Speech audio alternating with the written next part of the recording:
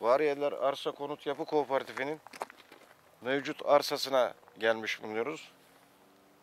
Şu gördüğümüz yer 35'lik yol. Kürünmüş zaten. Yol olduğu belli oluyor. Ham yol daha.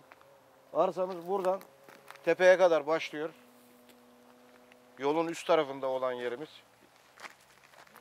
Burada aşağı yukarı 8 13 14 dönümlük yerimiz burada. Şu şu görülen yer. Arkada ev evlerin olduğu yere kadar şöyle sırt olduğu gibi bizim yerimiz. Buna ilaveten yolun alt tarafında da Şu aşağısı da. aşağısı da yani yola hem sağdan hem soldan cephe olu- oluyor.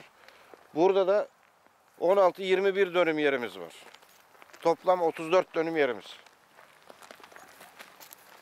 Yolun altında olan yerde 2B ile ilgili sorunumuz yok. Yolun üst tarafında olan mevcut görünen yerin tepe kısımlarında 2B problemimiz mevcut.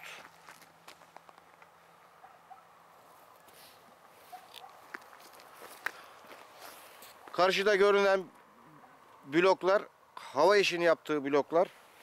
Şu yan tarafında triplex olan villalar da Cenk İnşaat'ın e, villaları. Al, Almanlara falan satıldı denilen yer inşaatlar. Yine aynı şekilde arsamızın sağ tarafında görülen şu binalar da yine bunlar da hava, hava meydanında çalışan işçilerin kurmuş olduğu bir bir başka hava iş kooperatifi.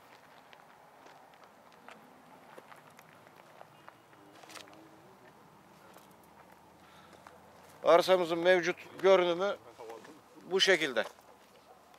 Ee, ben kooperatif başkanı Cevat Pekbilir.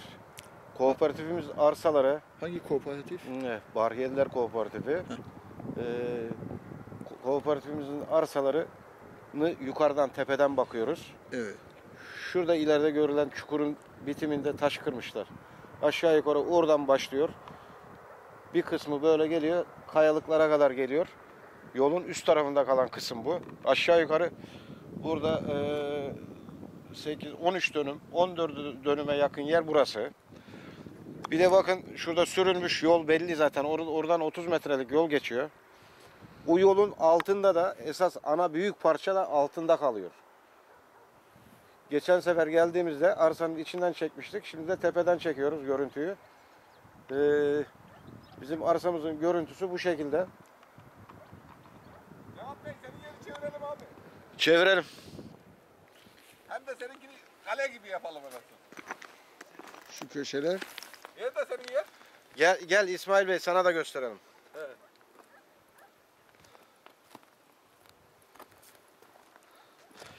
Şimdi İsmail Bey bizim şu çukurun bitiminde kaya kırmışlar ya. He. Şu görünen yol da var. Bak. He. Üç tane 30'luk yol var. yol. He. O 30'luk yolu o tam kıyıdan geliyor ta kayalara kadar. Anladın Bu mı? yanına. Bu tarafa geliyor bu kısmı. He. Bu kayaların üzerindeki 2B'lik kısım 8 dönümün yarısı oradan gidiyor. He. Yani 2B'nin giren kısmı. Evet. Üst parçası burası. He. 12-13 dönüm burada yerimiz var bizim. 13 dönüm falan. Esas büyük parçamız da yolun alt tarafında. Makilik Öbür olan makilik yer. olan yer. Evet. Sen niye çevirmiyorsun bunları yap çevirsen? Şey yapsana. Temizlesene.